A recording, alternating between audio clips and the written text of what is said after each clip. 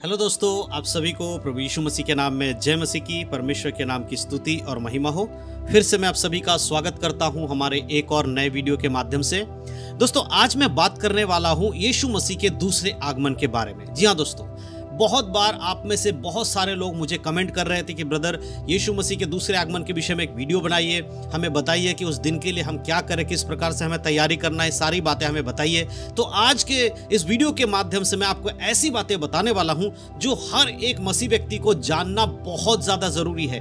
अगर आप प्रभु यीशु मसीह पर विश्वास करते हैं तो आज का वीडियो आपको पूरा देखना ज़रूरी है, क्योंकि आज के वीडियो में आपको पता चलेगा कि आप यीशु मसीह के संग स्वर्ग में जाओगे या नहीं जाओगे। क्या सिर्फ़ चर्च जाने से आप यीशु के संग चले जाओगे या फिर आप चर्च जाते रहो तब भी आप यीशु के संग नहीं जाओगे, इस बात को इस वीडियो के माध्यम से मैं आपको बताने वाला हूँ। इसीलिए बहुत ध्यान से आज के इस वीडियो को सुने, देखें और समझने की कोशिश करें, क्योंकि ये आपके आत्मिक जीवन के लिए बहुत ही ज़्यादा ज़रूरी है। बाइबल के वचनों से मैं आपको कुछ बातों को बताने वाला हूँ और दिखाने वाला हूँ कि वो दिन जब यीशु मसीह संसार में आएँगे, तब बहुत सारे लोगों का जो मुँह है, वो काला हो जाएगा, लज्जित हो जाएगा। बहुत सारे मसीह लोग ऐसे होंगे जो आज ये खरी शिक्षा की बातें करते हैं। आज अपने आप को बहुत बड़ा एक प्रचारक दिखाते हैं, एक पास्टर दिखाते हैं या बहुत बड़े विश्वासी अपने आप को दिखाते हैं। उस दिन यीशु मसीह के आगमन पर वो लज्जित होंगे और उनको पता चलेगा कि उन्होंने जो कुछ किया, वो सब गलत था। इसीलिए आप और हमें हमेशा अपने आप को जांचना है, अपने आप को देखना है कि हम क्या शिक्षा दे रहे हैं, क्या शिक्षा दूसरों को समझा रहे हैं या फिर हम किसी और से क्या सुन रहे हैं, क्या वो बाइबल के अनुसार है या नहीं है। ये सारी बातों को जांचने का जो काम है, वो हमें स्वयं करना होगा,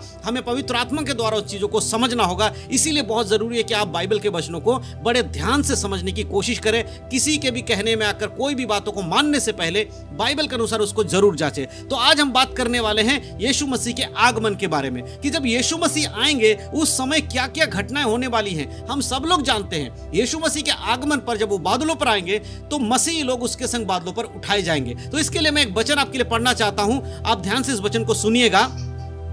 पहला तिसलुनी उसका चार अध्याय और उसका सोलह आयत। यहाँ पर लिखा है, क्योंकि प्रभु आप ही स्वर्ग से उतरेगा, उस समय ललकार और प्रधान दूत का शब्द सुनाई देगा और परमेश्वर की तुरही फूकी जाएगी और जो मसीह में मरे हैं, वे पहले जी उठेंगे। देखिए, जब भी यीशु मसीह का दूसरा आगमन होगा, सबसे पहले कौन लोग यीशु के संग बादलों पर उठाए जाएँगे? वो लोग जो यीशु के आगमन पर मर चुके होंगे, यानी कि संसारिक लोगों की बात नहीं हो रही है, जिन लोगों ने प्रभु यीशु मसीह पर विश्वास किया होगा, जो वचन के अनुसार जिन्होंने जीवन जिया होगा, जिनका जीवन मरते दम तक प्रभु के वचन में रहा होगा, वो लोग अगर वो कब्र में भी होंगे तो यीशु मसीह के आने के समय जब तुरही फूकी जाएगी, दूतों के द्वारा, प्रधान दूत के द्वारा तुरही फूकी जाएगी, उस तुरही की आवाज़ सुनकर कब्र खुल जाएँगी और कब्र में से वो लोग, जो प्रभु के लोग थे, जो सो रहे थे, वो जीवित हो जाएँगे। तो सबसे पहले जब यीशु मसीह का आगमन होगा। उस समय ज़िंदा लोग नहीं स्वर्ग में उठाए जाएँगे। पहले, सबसे पहले मुर्दे जो यीशु के विश्वास में मरे थे, वो लोग जीवित किए जाएँगे और उसके बाद हम चीज़ों को आगे बढ़ते हुए देख पाएँगे। तो सबसे पहले अगर आप आज ज़िंदा हैं तो आपका जीवन पवित्र होना चाहिए। देखिए, हम में से कोई नहीं जानता कि यीशु मसीह का दूसरा आगमन कब होगा। लेकिन हमें पता है कि जब भी यीशु मसीह का दूसरा आगमन होगा अचानक से होगा। इसीलिए हम समय नहीं जानते, इस वजह से हमें रोज अपने जीवन को पवित्रताई में चलाना ज़रूरी है। पवित्रताई में अगर आप नहीं चलते, मान लीजिए कि आज यीशु मसीह का आगमन होता है और आप और हम ज़िंदा हैं तो क्या हम स्वर्ग जाएँगे? तभी हम स्वर्ग जाएँगे जब हम यीशु के वचन के अनुसार जीवन जीते होंगे। और मान लीजिए कि आप यीशु मसीह अभी नहीं आए हैं और आज मैं और आप में से कोई भी अगर इस संसार को छोड़कर, अपने आत्मा को शरीर से त्याग कर हम संसार को छोड़ देते हैं प्रभु का जो नियम के अनुसार, यानी कि मर जाते हैं, हम सो जाते हैं प्रभु में, अगर हम में से कोई भी वचन के अनुसार नहीं है और वो संसार से मर जाता है तो याद रखिएगा कि यीशु मसीह के आगमन पर वो कभी भी ज़िंदा नहीं होगा, दूसरे आगमन पर।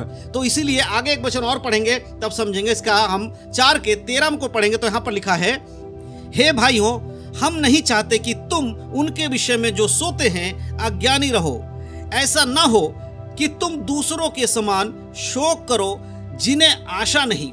परमेश्वर का वचन क्या कहता है? कि ऐसा ना हो कि तुम अज्ञानी रहो, कि तुम दूसरों के समान शोक कर। आज बहुत सारे मसीह लोग ऐसे हैं जो ये सोचते हैं कि हमारे प्रियजन मर गए हैं, पता नहीं क्या होगा, ये वो ज़िंदा होंगे, नहीं होंगे। इस प्रकार से सोच विचार दूसरे लोग करते हैं। हम लोगों को नहीं करना है। प्रभु का वचन यहाँ क्या कह रहा है ज्ञानी मत बनो। परमेश्वर के वचन में साफ़ साफ़ लिखा, अगर कोई व्यक्ति प्रभु में सो गया है तो वो एक दिन जी उठेगा और उसका जी उठना तय है मेरे प्रियो। और यीशु के आगमन पर सबसे पहली जो घटना होने वाली है, वो यही घटना होने वाली है कि मुर्दे सबसे पहले जी उठेंगे। और अगर हम उसके चौदह आयत को पढ़ते उसके आगे चौदह में देख क्या लिखा है? क्योंकि यदि हम विश्वास करते हैं कि यीशु मरा और जी भी उठा तो वैसे ही परमेश्वर उन्हें भी जो यीशु में सो गए हैं उसी के साथ ले आएगा। यानी कि यीशु मसीह के साथ ले आएगा का अर्थ क्या है कि जो जैसे यीशु मसीह मुर्दों में से जी उठे हैं और यीशु पर अब जो विश्वास करते हैं, उस विश्वास के कारण जब यीशु मसीह का दूसरा आगमन होगा, तब वो सारे मरे हुए जितनों ने यीशु मसीह पर विश्वास किया होगा, उसी तरह से ज़िंदा हो जाएँगे जैसे यीशु मसीह कब्र में से ज़िंदा हुए थे। और यीशु के साथ आ जाएँगे। यानी कि यीशु के आगमन के साथ जैसे उनका दूसरा आगमन होगा, मुर्दे उसके साथ ही साथ उठाए जाएँगे। इसीलिए मेरे प्रियो, अगर इस संसार में हम जीते जी, प्रभु पर विश्वास करते हैं, उसके बाद अगर यीशु के आगमन से पहले हम मर भी जाते हैं तो भी हमारे पास आशा है कि हम एक दिन जी उठेंगे। क्योंकि अन्य जातियों के पास वो आशा नहीं है, वो उनके पास कोई होप नहीं है कि वो जी उठेंगे। इसलिए वचन में साफ़ साफ़ लिखा है कि उनके समान शोक मत करो जिन्हें आशा नहीं है, परंतु हमारे पास एक आशा है मेरे प्रियो।